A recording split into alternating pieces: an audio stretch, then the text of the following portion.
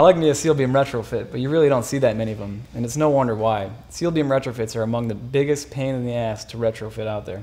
So today we're going to show how to do it. Uh, we're going to use one of the biggest projectors out there, a Nissan Murano, retrofit it into this housing, put it on this Jeep, and we're going to use a Dremel tool to get it done.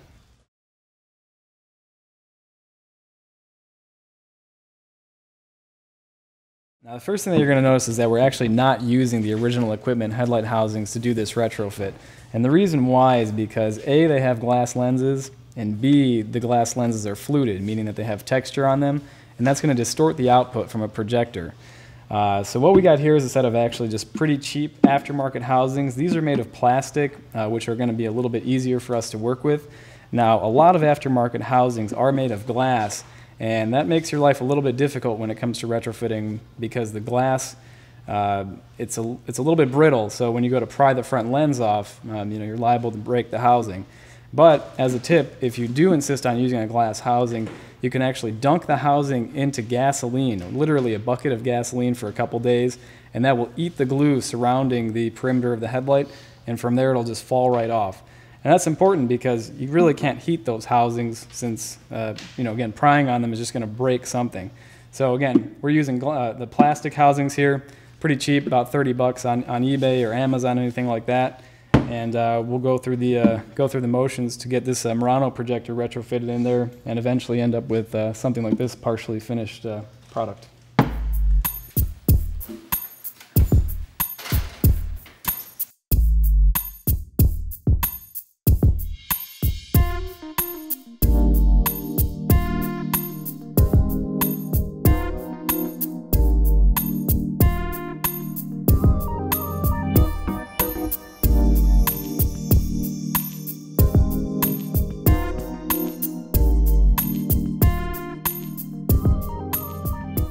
Since seal beam housings are regarded as being one of the smallest out there, uh, for purpose of demonstration, we're going to use a big bi-xenon projector, in this case a Nissan Murano.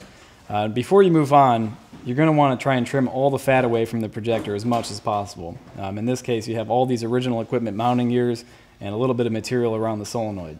Now, depending on what projector you use, you might not have to do that. You know, this is only going to have to be trimmed up because it's an OEM projector and it has a lot of extra fat. But something like an FXR, you know, Morimoto Mini, etc., really not much extra trimming to do. So we're going to go ahead and trim all this stuff off and make it look more like this one that's already been trimmed.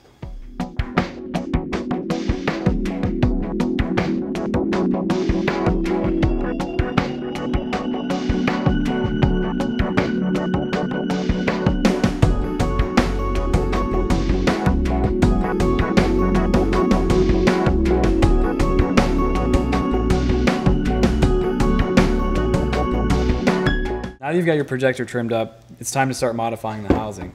You can see this one's already been cut up um, basically to the correct shape, but this one is still in its natural form. So because of the, the limited depth inside of seal beam housings, we're going to need to sink this projector as far back into the headlight as possible so that the lens clears the lens on the projector you know, from the side profile.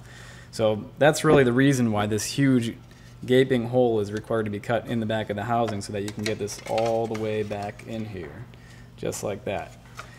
And you know, every projector comes in different shapes and sizes, so there's real no specified formula for the shape that you should cut. Uh, but using common sense, you know, you can look at the back of this, look at the back of this, and you should see some similarities. Um, as far as uh, getting started goes, we usually recommend getting out the Sharpie marker and just drawing a small hole in a rough shape and then you can always enlarge it later, but it's kind of hard to put back material once you've already cut it away. So get started by uh, marking up this reflector, and then we'll start cutting it just to match up with this one, and uh, then we can be begin mounting our projectors after that.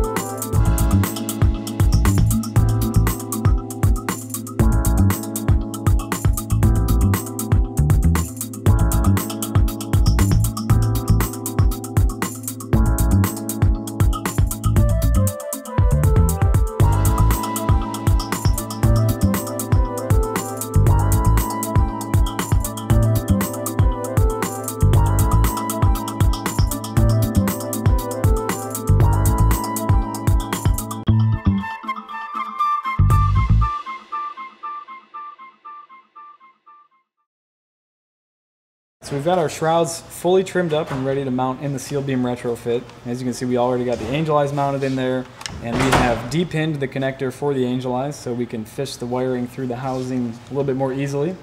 So we're going to go ahead and start by preparing the shroud for its final installation onto the projector here. And to do that, we're going to want to make sure that we clean the front lens frame of the projector with an alcohol pad, like always, just to make sure that the surface is clean, full of any contaminants, uh, or you know, rid of any contaminants that can prevent the shroud from sticking on here.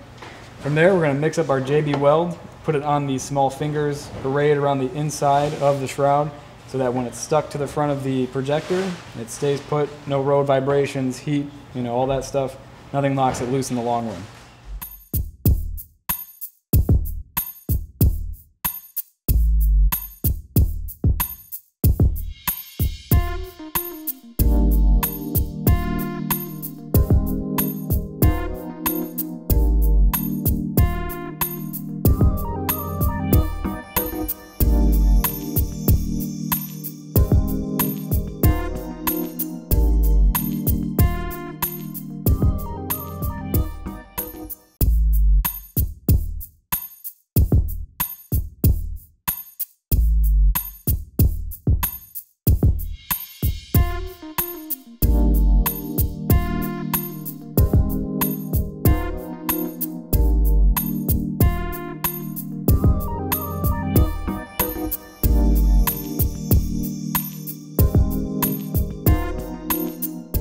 Finally got our shroud mounted on the 6x4 retrofit on the Jeep.